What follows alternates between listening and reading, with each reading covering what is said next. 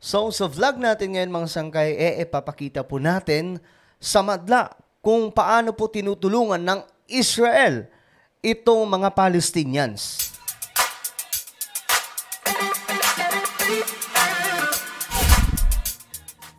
Alright, magandang oras po sa lahat ng ating mga kababayan. Lalong-lalo na po yung mga solid sangkay dyan na lagi pong nanonood. Bago tayo magsimula mga sangkay, pakisubscribe po muna yung ating YouTube channel. Ayan po, makikita nyo po sa ibaba yung subscribe button. Pindutin nyo lamang po yan, tapos i-click nyo yung bell at i-click nyo po yung all. Ulitin ko, click the subscribe down below, click the bell, and click all. At kung kayo ay nanonood sa Facebook, huwag nyo pong kailimutan na i-follow ang ating Facebook page. So ito na nga mga sangkay, pag-usapan po natin ito. Ito po, mga ebidensya no, na ang Israel ay talagang sila po yung tumutulong sa Palestinians. Hindi po yung Hamas. Kung ang Hamas mga sangkay, pinapahamak po itong Palestinians, ang Israel, well, tinutulungan po nila. Ito, may ebidensya po tayo para lang mga sangkay ma mabara no yung mga ano diyan, yung mga talagang suportado po yung Hamas at pinagpipilitan na ang Hamas ay para sa Palestinians. Ito, tingnan po natin.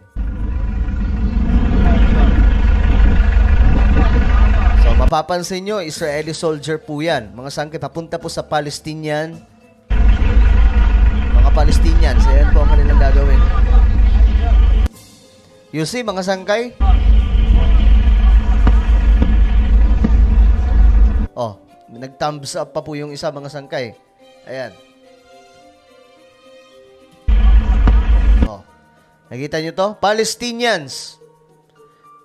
Ito pong isang Palestinian eh nag nag-thumbs up po yan sa ginagawa po ng Israel. Eh, Dokto,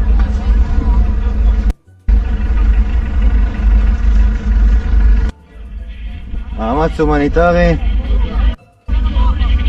O, di ba? Mga sangkay, yan po ang ginagawang pagtulong ng Israel. Saan? Hindi po natin ano yan eh. Itong ginagawa nila, hindi naman po ito gaanong binabalita, no? So, ngayon, tayo po ang tumitingin mga sangkay. O, kita mo, ito. Tingnan nyo kung paano inaaruga ng mga Israeli soldiers itong mga Palestinians. O, di ba?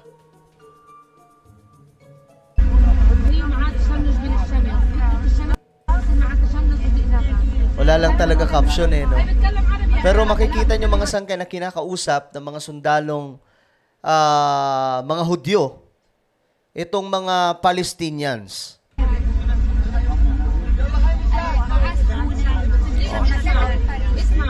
O, diba? So ngayon, mga sangkay, ito na lang. Di ba may mga may mga ano tayo dito na talagang pinagpipilitan nila na itong mga Palestinians, ah no no, itong Hamas ay para sa Palestinians. So kung titingnan po natin dito, baliktad po ang nangyayari. Itong itong Israeli forces or Israeli government ang tumutulong sa Palestinians. Kung ang Hamas ay pinapahamak ang Palestinians, itong Israeli forces or Israel government tinutulungan po ang mga civilian. Okay?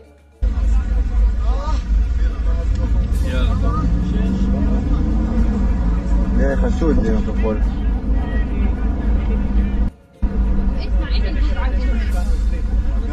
כן. Oh.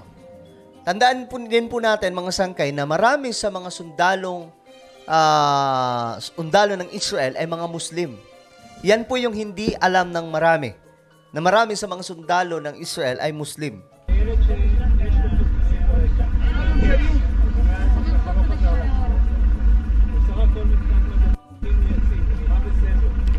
Yan, mga sangkay. Ngayon, tingnan nyo kung sino talaga ang may puso sa Palestinians.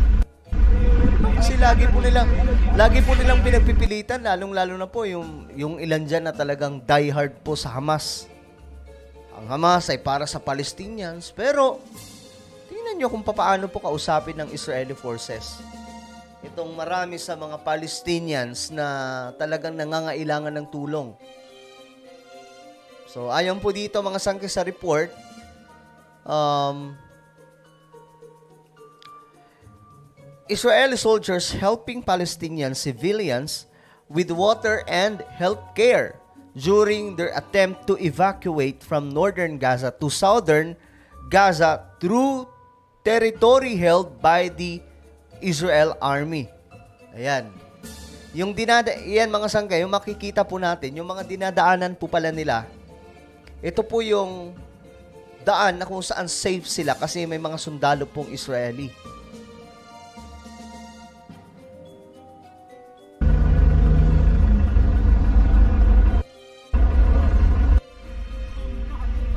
This humanitarian passageway is to allow us, IDF, to attack Gaza and the Hamas only. Only the Hamas, not the Gazan citizens. 'di ba? Only the Hamas, not the Gazan citizens. I hope that everybody now maiintindihan na po nila mga sangkay kung anong ginagawa ngayon ng Israel. Ang kalaban ng Israel, hindi po yung mga Muslim, hindi po yung mga taga-Gaza, kundi Hamas lamang. Okay? We allow the women and the children this humanitarian passageway so we can continue with our job to attack the Hamas and to defeat him. This uh, enemy and what he did to us Israelis is uh, unforgivable will not forget this and we will attack him until the end. But the Gaza citizens are not to blame. They are not to blame. Oh, 'di ba? Mga sangkay, pinagtatanggol pa po nila yung mga taga-Gaza. Yung mga and civilian. This is the humanitarian passageway you can see right here. Nokto. So, 'di ba may mga vlogger po na ano diyan? May mga vlogger diyan na pro Hamas. So ngayon, mga sangkay, yan, isend nyo po yan sa kanila. Okay? I-send yun sa kanila. Kasi ang dami pong tinutulungan ng Israeli forces. Ayan po. Oh. Pami-pamilya, mga sangkay yan. Tinutulungan po nila.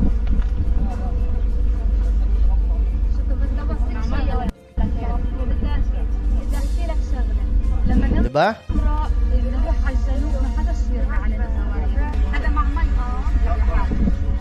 Oy.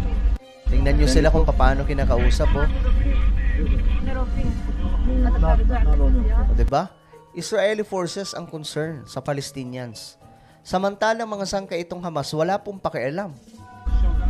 Gusto pa nga po ng Hamas, ipahamak to mga to eh. Gusto nila ng Hamas na ma- mapasama po sila sa digmaan sa casualties. Mapapansin po natin yung twisted ano story may mga iilang media rin, mga sangkay na pinapalabas na ang sama-sama ng Israel. Pero ayan po, nasa panahon po tayo ngayon na ah, masyado na pong ano yung social media, high-tech po, may internet. So makikita na po natin ng transparent, no? Kahit hindi balita ng mainstream media sa international, malalaman at malalaman pa rin po natin. And look at them, how the Israeli forces help these Palestinians. تحتيها لك منه I'm afraid to have hair heat inside inside there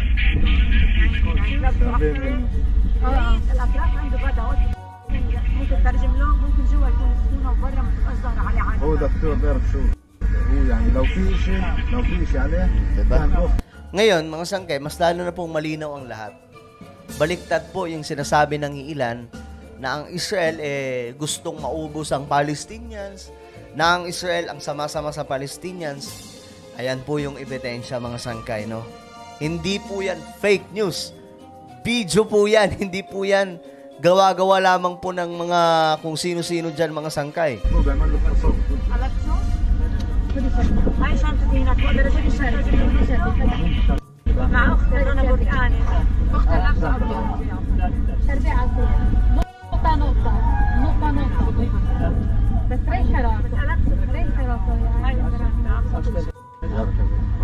Awan, mga Palestinians na nadamay sa gulo dahil sa ginawa nitong Hamas. So matagal na po kasi talagang nakikiusap ang Israel na sige na, umalis na kayo dyan. Kasi hanggat nandyan sila sa Gaza, mapapahamak at mapapahamak sila. Kasi ang ginagawa ng Hamas, ginagawa po silang shield sa mga raket ng Israel. So kawawa naman po talaga. Nadadamay po sila sa ginagawa ng Hamas.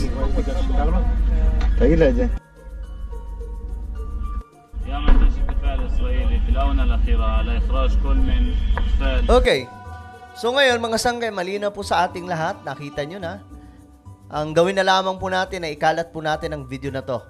May paalam po natin sa buong mundo, especially dito sa Pilipinas, na may mga kapatid po tayo kasing ano, di ba?